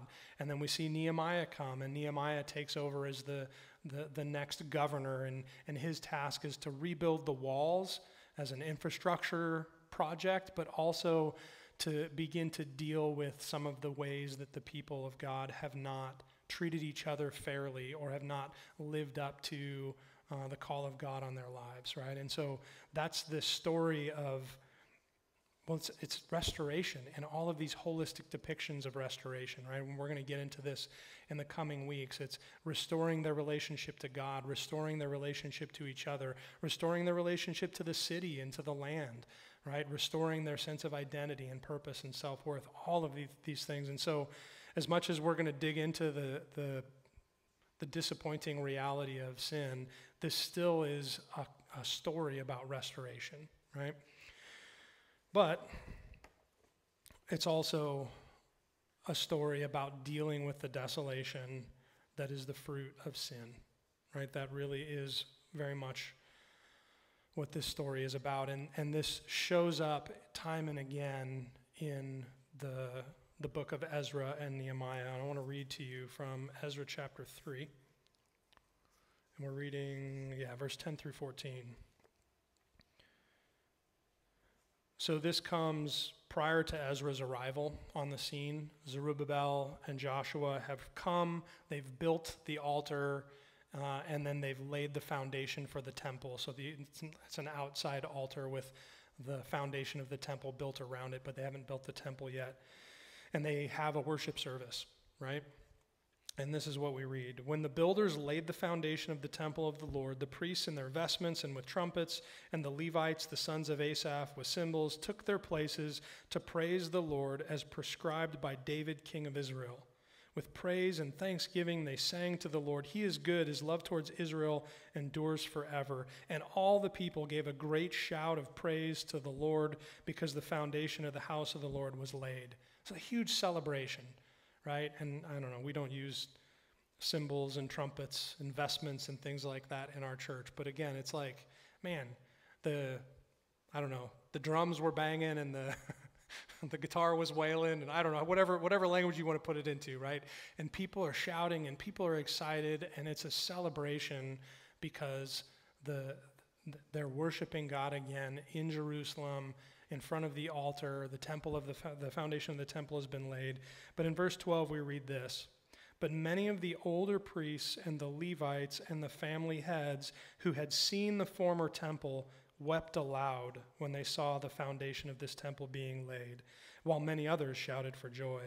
No one could distinguish the sound of the shouts of joy from the sounds of weeping because the people made so much noise and the sound was heard far away. And so this is huge noise. I don't know if you've ever been, in, you know, like maybe by the Bills Stadium outside it when like they're playing a game and it gets like that's that's what's going on around the temple is this giant crowd of people making tons of noise that could be heard, you know, miles away. But we read that certainly there are shouts of joy, but there's also weeping and sadness. And some of the commentaries that I've read point at the size of the original temple versus the size of the new temple, right? And that, that maybe they were weeping because they knew that the former glory of God's temple was not going to be reclaimed. Um, so whether it's that or it's just simply the reality that for you know a hundred years there had been no temple and there still wasn't a temple, it's just a foundation, right? So whatever the case is, the the reality of the fact that they they were still living in the desolation caused by the faithlessness of the Jewish people. They were living with it, looking at it. And as much as this is a celebration, we're here, we're back, we're worshiping, yeah, but look at what we've lost. Look at what has been, you know, what is the cost to us because of our failure as a people, right? And that that too is a part of this story.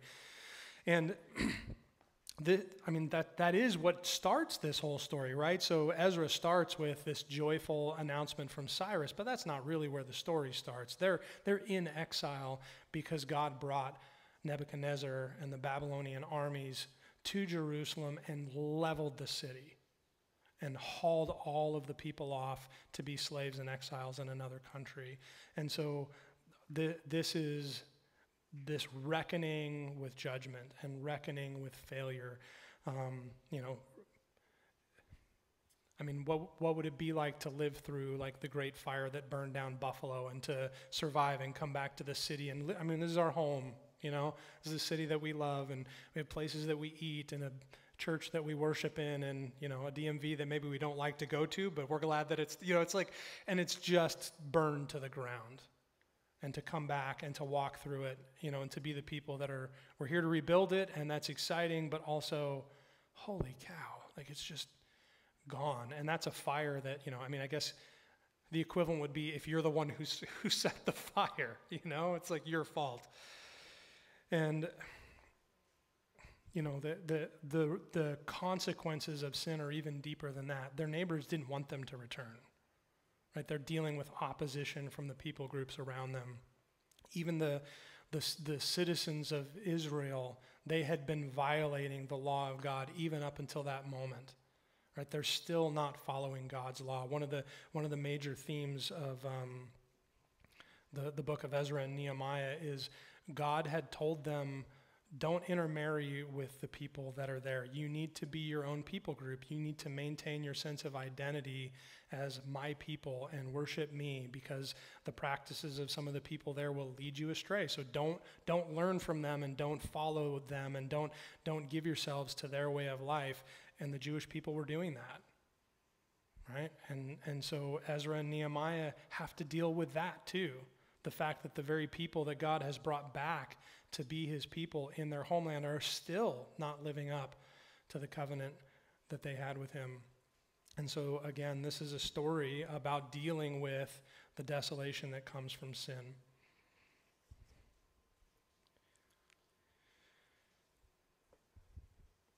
But also, one of the major themes of the story of Ezra and Nehemiah is the story of God intervening. Right? And this is a picture of a shepherd carrying a sheep. Um, you guys are all familiar, I'm sure, with the parable of uh, Jesus and the, the lost sheep, the good shepherd who, you know, leaves the 99 to go after the one. It's, uh, it's told with the, the parable of the lost coin and the parable of the lost son, right? But it's, it's Jesus' way of communicating God's heart, right? That God's heart is to see one of his sheep who, through its foolishness or its stubbornness or um, its rebelliousness, has wandered away from the herd, from the good place that he's led it. And instead of being angry or leaving the sheep to its own devices, God is like a good shepherd who goes out and goes after and rescues the sheep, not because it's a good sheep, but because he's a good shepherd right? And so he goes after the sheep. And th- that's what this is the story of, right? This is the story of God redeeming and restoring his people, not because of their goodness or their faithfulness, but because of his own. And God continually shows up in the story of Ezra and Nehemiah to take care of his people. One, one of the really cool, so, so the, the, the nations around Israel, around, around the Jewish people, around Jerusalem, they keep writing letters to the Persian king saying, hey, you can't let this people rebuild because they'll rebel against you. And keeps trying to like interfere with the work they're doing, you know, showing up to try and sow discord in the, in the, the camp and doing all these things. And so there's this one point where they they write a letter to one of the Persian kings saying, "Hey, don't don't let them build." And the Persian king looks into the situation and realizes, "Oh, my predecessor has actually said that this is, you know, Cyrus said this is what's supposed to happen. So you people that wrote me this letter, not only are they allowed to build, but you guys have to pay for the building project." Right? And it's like, "Oh man, that's like how much more evidence do you need of like God's favor on this project that that's how this unfolds, right?" And so there's all of these places in the story where you just see again people who think they have power and authority and god's like moving around like chess pieces for on behalf of his people. And so again you just see god's faithfulness coming through in this story. But again it's god's faithfulness to redeem and to restore that which was lost through human sin. And that really is the story.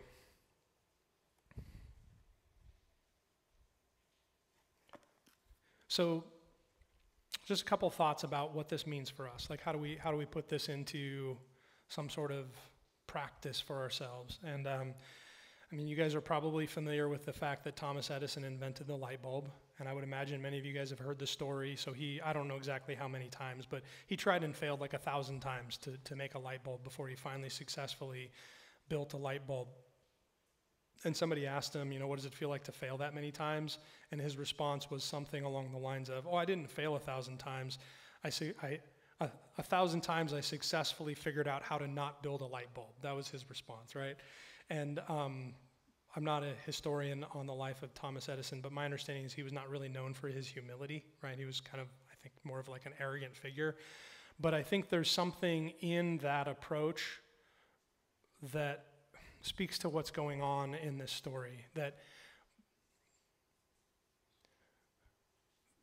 there, I guess there's a deep conviction that you see, particularly in Ezra and Nehemiah. They're, they're not willing to give up. They're pushing in, right? There's, there's all sorts of opposition coming from all sorts of sides.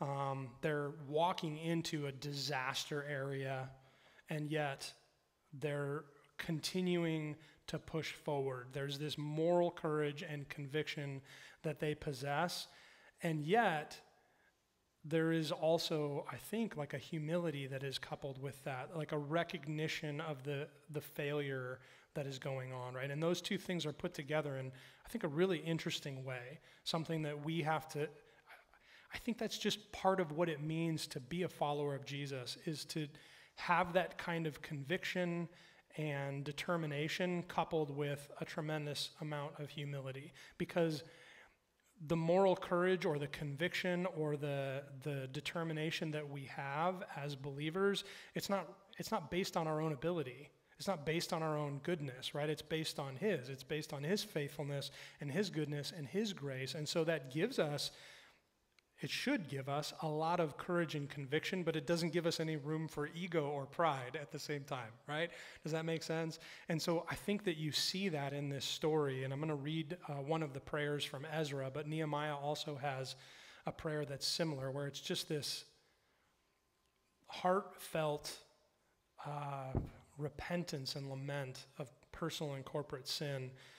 But again, it points these people in a direction where they're just unwavering. They're moving forward towards what God has called them to do. And so, you know, we have to ask questions like, well, what like what would tempt us to not be to not engage with that kind of conviction, right? And you know, the reality for me, I like I don't like looking at my failures. I don't like dealing with the consequences of my sin. I don't think anybody does. Right? It's not fun, it's not pleasant, and I don't like to do things that aren't pleasant or fun. And that's me. Maybe you guys are exactly the same or maybe it's a little different for you, but the reality is is that we're all tempted to just avoid that. Yeah, that was yesterday's mistake. I'll just move on to the next day. And the reality is is that we have to be people who are actually willing to push into those hard, painful things. And on the other side, we can be tempted to be people who rely on ourselves, who think we have our act together and put on a front or a mask and just, you know, fake it. And the reality is is that we need to be people who choose to rely on God's grace and choose to rely on God's goodness in our lives. And that, again, leads us to be people who have that deep sense of conviction and courage and determination while simultaneously being people who are humble and who are not wrapped up in our own, you know, our own ego. So that speaks for itself, right? I think. Always thought that, that would be fun to like go to the county fair and like try and sell that, right? Set up a booth for accepting responsibility. right, right next to one that says blame others. You probably would get that response, right? Everybody's lining up next to you, not at your table. And, and so the reality is, is that accepting responsibility is not something that is pleasant. It's not something that it's enjoyable. But the reality also is, is that, you know, we can do things that are unpleasant. We're capable of doing hard things in our lives. And this is actually one of those things that is, while it's not pleasant, it is good for us to do, right? I mean, it would be a horrible story if God called Ezra and Nehemiah and Zerubbabel and Joshua to come and rebuild the city, and they said, nah, that sounds difficult. Right? Cyrus issues his decree, and no Jews want to return. That would be a horrible story, right? And so the fact that these people were faithful to go back and to rebuild, in spite of what it cost them to do that, like that's a worthy task. It's a worthy call. It's a worthwhile sacrifice for them to make. And, you know, for us to be people who step into the pain of our, you know, personal dumb decisions or the dumb decisions that maybe we've made as a church or in our neighborhood or in our city or as a nation, or for us to be people who are willing to step in and take responsibility and accountability for those things. It's not fun, but it's worthy and it's good and it's what God wants for us. So this picture, I um, I came across it and and it just captured the, the idea of failure for me so perfectly. Uh, and then I was like, well, I should probably find something that's a little bit more meaningful than like a spilled ice cream cone. But again, you guys probably can all remember experiences like this as a child and just like the complete despairing disappointment that comes along with something like this, right? You know, it's like, oh, my I had this it's gone and it's there on the ground and I could just stare at it. And um, how many of you guys watch uh, American Idol? Anybody watch that? Mm, a little bit? Okay. So I've never actually watched American Idol, but with my kids, I have watched YouTube videos of audition failures. Have you guys ever watched those? Who's watched those? Okay, all right. They're kind of sad, but also a lot funnier than the, uh, the, the idol success stories. But what, I mean, what that is, is that they're people who think they know how to sing and they find out that they can't sing in front of millions of people, right? So that's, that's bad. That is not good. And the reality of that is that these are people, either through their own decisions or the decisions of their friends and family, have never actually really been forced to confront personal failure. And this is about singing or performing, so, you know, it's not necessarily a, not necessarily a moral failure to not be able to sing, but I think it gets at the importance of being people who are willing to just look at the places where we've failed. I know for me as a as an athlete, it, it never felt good to lose, ever, right? You spend years, hours sweating, you know, bleeding, training, sacrificing to go succeed, and then you don't, you fail. And it's miserable. It doesn't feel good. And then to have your coach pull you aside and say, All right, let's talk about why you failed. That doesn't feel good either. And yet, those were some of the most formative things for me as an athlete, but also for me as a person, right? To be able to say, all right, this is where I made a mistake. This is where I made a mistake in competition. This is where I made a mistake in training.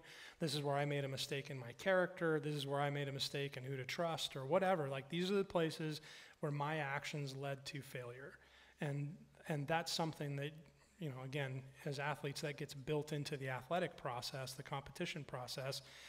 Uh, and, and this is a story about God building that into the process of his people, right? That no, we have to actually go back and confront this and deal with this. You know, that in, in many ways, this is the story of my life as a Christian, is coming to terms with you know, the, the pain and suffering in my life and the fact that I really couldn't point my finger at anybody else around me who had done it to me. It was my own rebelliousness and my own sinfulness and my own decision making that had led to some of the catastrophic failures and painful things in my life. And it was that realization that brought me back to Jesus, where it's like, all right, I, I have to actually be willing to acknowledge that I did this to myself. Um, I could tell you lots of stories about fights with my wife that fall into that category. She's a jerk. No, I'm a jerk. I'm the jerk, right? And there's something inside of me that pushes against that always. I don't ever want to acknowledge that. But the reality is is if I'll sit and listen and pay attention and reflect on what happened, I don't think I've ever been in a fight with my wife where I wasn't at least partly the jerk, right? And that's not a fun thing to come to terms with, but it's the only way I'll become less of a jerk, right? That doesn't happen any other way. So there's one last passage that I want to read to you out of um, out of the, the Ezra story, and this is Ezra chapter 9. And then we'll ti take some time to reflect a little bit personally. And like I said, there's multiple passages like this in this story, but this is Ezra chapter 9, and we're going to read verse 5 through 15. And this is uh, really, it's a prayer of repentance and lament that Jeremiah, or I'm sorry, that uh, Ezra offers.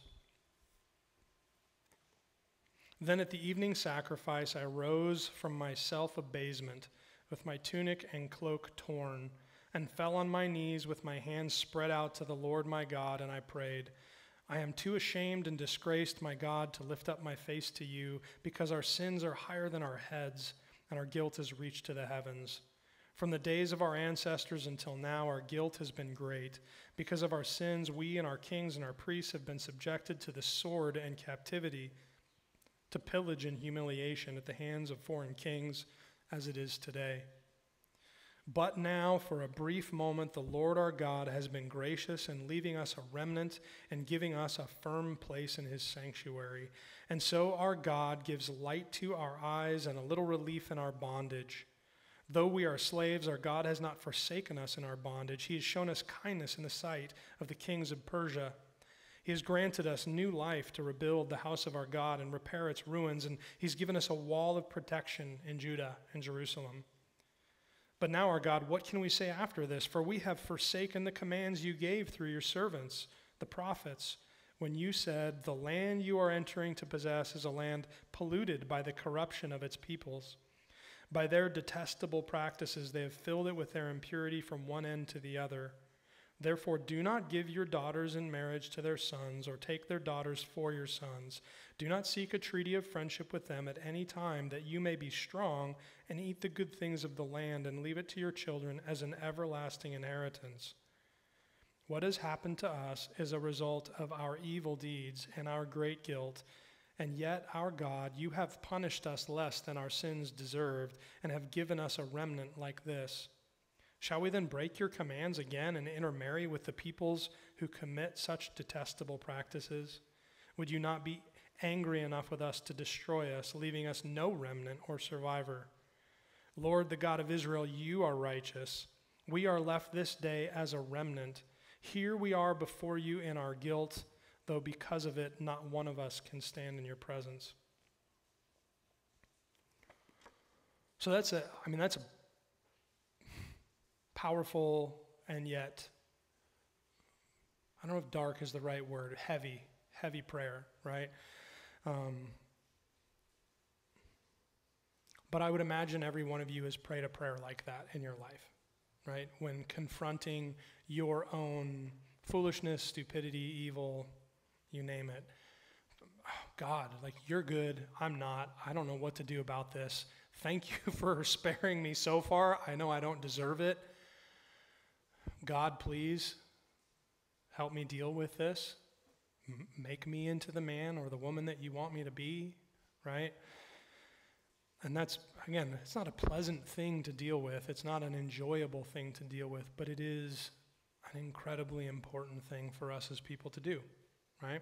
And so we're going to take some time uh, to just reflect a little bit. And I've got a just got a little bit of a guide for reflection um, to identify a place of personal failure that you're willing to actually dig into with God's help, right? And you, c- y- y- I'm not telling you what to do, right? You can pick something. So big, small, uh, but it takes courage to push into something like this, right? To say, okay, I'm willing to point at something in my life that I know represents less than what God wants for me.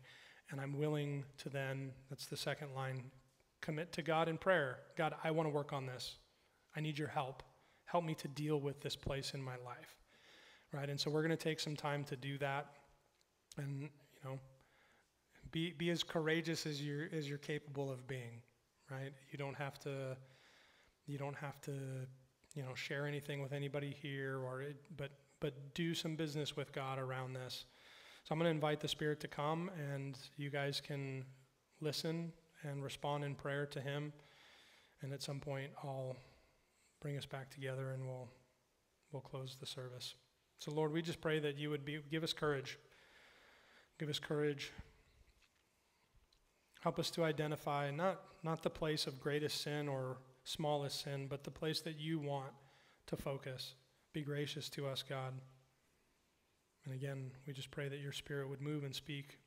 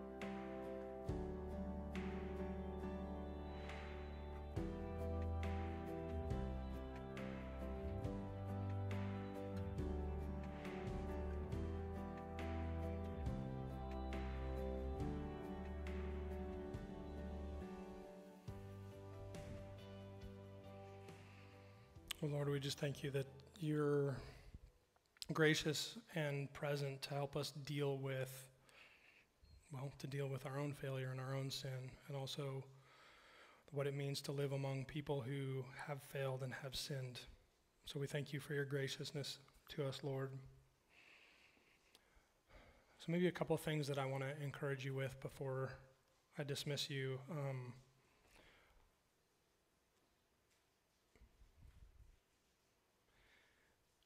there's a, a story in Nehemiah, part of this story, where Ezra reads the law to the people and they begin to cry. They begin to weep because they haven't heard the law read and they realize essentially like they haven't been living the way God wanted them to live.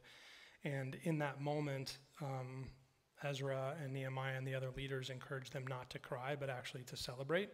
Like there's a time for repentance and there's a time for, for weeping, but right now, this is actually a time to recognize that God is doing some restorative work and to be excited about that. And that's not to say that we should be excited about confronting our own failure, but to recognize that it's actually a part of the process of restoration. This is actually a story of hope and restoration. I think this morning it's important for us to recognize that restoration doesn't happen without dealing with the consequences of failure and sin, and that that can't be shortchanged or ignored. But it also, like, our eyes should also, like, we should be able to see to the future hope as well, right? And that's an important thing for us. So I want to just put that as an encouragement in front of you, but also give you a little bit of practical guidance, right? So maybe for some of you, you identified something and you need to do something more with that. Um, so what I'm planning on doing for myself this week is journaling over the, the course of the week around that specific place that I feel like God wants to deal with in me. And just two questions, so I'll give these to you, right? What, what, why am I failing or why have I failed in that place? What's the reason why? And just to put some thought, and my guess would be you probably don't actually know as clearly as God does. So just to do some work over the course of the next week answering that question why has this failure happened? And the second is where is God at work in it? Right? Where is the Spirit at work? Where is God inviting me into something different? Where is He being sovereign in His approach to what's happened? And so just those two questions. So you you know if you're if you like to journal, journal. If you just want to take that with you into times of prayer every day this week, I would encourage you to do that. Um, but also, if maybe there's something that God has put on your heart that you know is bigger than your ability to just deal with and you want to talk to somebody else about it, you can, right? I think everybody in the room came in with somebody. You can talk to the person you came into the room with. You can come talk to me. You can talk to one of the other leaders of our church, or maybe you have a mentor somewhere that you feel comfortable going to them and saying, Hey, we took this time of reflection during church and I identified this place of personal failure that I feel like God wants me to deal with can you help me or can you pray for me or can I share this with you? So don't don't walk away feeling like you're alone in something like that. Okay? So why don't we stand? And I will pray a benediction over you guys.